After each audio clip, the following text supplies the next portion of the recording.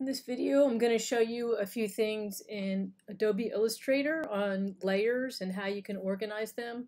So I have this piece of artwork here and I have my layers tab open. If you don't have yours open, make sure you go to window and make sure that layers is checked.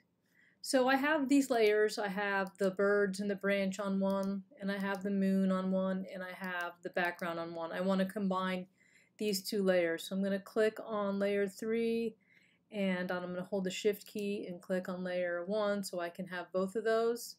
Then I'm going to go over here and I'm going to say merge selected and so that puts them, uh, both of those things are now merged into one layer and I can just click in here, right click there and name it sky, whoops, name it sky. So now I have my birds in one layer and the sky in the next.